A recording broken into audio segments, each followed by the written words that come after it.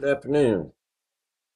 It is Friday, August 25th, 2023. This is a Tropic Watch tropical weather update.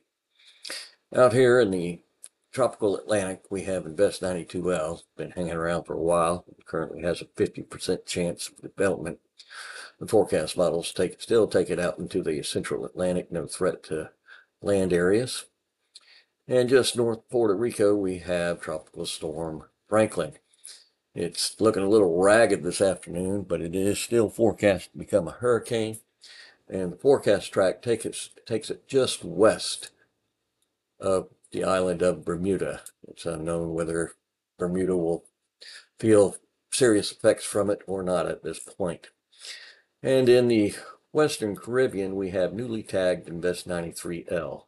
NHC is given it an 80% chance of development and the forecast models are taking this system into the eastern Gulf of Mexico, and then sometime around Tuesday, be close to the Florida Gulf Coast along the western periphery of the peninsula, or maybe up into the Big Bend. It's big question mark there right now at this point. And we are seeing increasing convection with this system, and it has a broad low in this area associated with it. This has been a Tropical Watch Tropical Weather Update. Thank you for listening, and don't forget to subscribe.